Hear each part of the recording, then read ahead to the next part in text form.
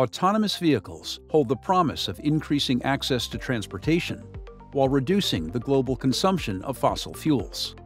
The technology has tremendous potential, but there is one critical question that must be answered. Is it safe? An estimated 3 million AVs may be on our roads by 2040.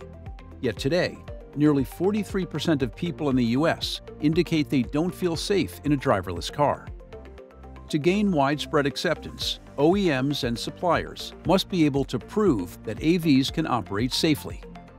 Proof requires hardware, software, and systems to interact seamlessly in real time. An example of this is the recent work done with an AV leader to validate an automatic emergency braking system that could not be fully modeled using their current software solution.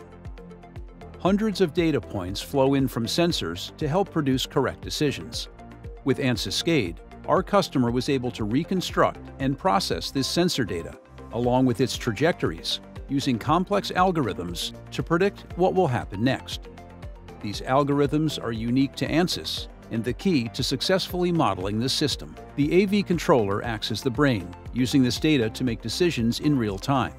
The pedestrian enters into the range of the vehicle, and the state has to change from ready to warning and then braking in milliseconds the ANSYS real-time co-simulation solution, coupling ANSYS SCADE and ANSYS VRXPERIENCE Driving Simulator powered by SCANeR, should allow them to increase efficiency and bring safer products to market faster, all while meeting industry safety compliance and customer delivery requirements. Perfect signal interpretation, perfect automation, perfect vehicle performance.